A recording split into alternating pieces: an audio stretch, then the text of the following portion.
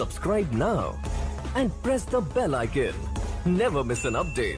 इस वीडियो में हम जानेंगे एम के फ़ोन में स्क्रीन का पीलापन कैसे ठीक कर सकते हैं। तो चलिए वीडियो शुरू करते हैं।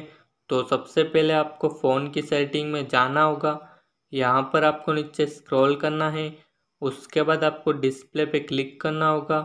और यहाँ पर आपको ये ऑप्शन दिखेगा रीडिंग मोड। तो इस पर आपको क्लिक करना है और यहाँ पर ये चालू होता है तो आपको इसे बंद करना होगा।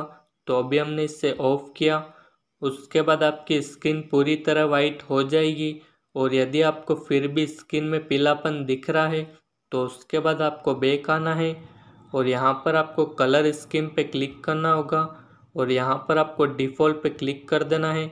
तो अभी ये पूरी तरह वाइट हो चुका है तो ऐसे हम इसे यूज़ कर सकते हैं। तो बस इस वीडियो में इतना ही।